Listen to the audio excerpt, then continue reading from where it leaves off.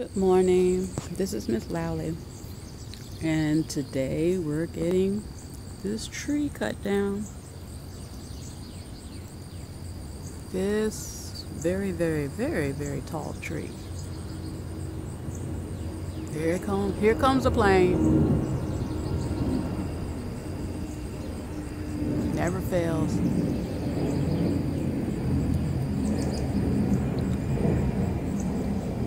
This tree is home to squirrels. I'm not sure about birds. But over the years, we've been here about 15 years, and numerous squirrel generations have grown up and whatever in, in this tree. And now today it's coming down. I don't know what the tree company is going to do to alert them that they need to get out this tree because it's coming down, but they need to do something. Don't get mad at me, squirrel. And with this tree coming down, we won't have this area shaded anymore, which I would normally keep shade, uh, work with my table nursery in this area in the shade or over the years me and when my girl was younger we'd come and lay out on the grass right here. Um, I used to have a clothesline right here and kept you know it was nice and shaded right there. So and you probably wondering what's that have to do with gardening?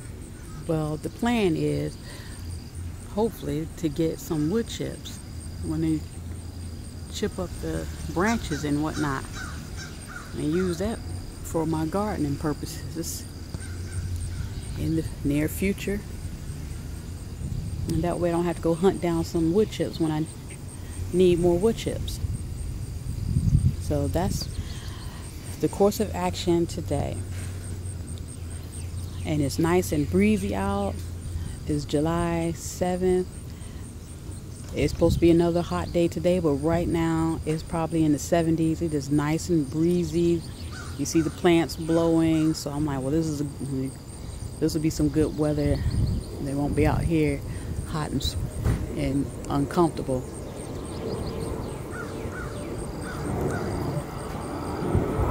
It's very nice and breezy. It's very nice and breezy out. So hopefully this lasts the whole time they're here cutting the tree down and it won't get too uncomfortable. It's just been some very high heat and high, high humidity going on here. And it is stressing some of the plants out. I'm dealing with powdery mildew. The pests have found my cucumbers. I've found stink bugs and I guess the cucumber beetles over there. Um, harlequin beetles that tore up the kale over here have found my kale in the other part of my yard. So the pests have found out what I got going on over here. but so pests, high heat, high humidity. But overall, I'm, I'm still getting garden production going on. So hope everyone has a great day and thanks for watching.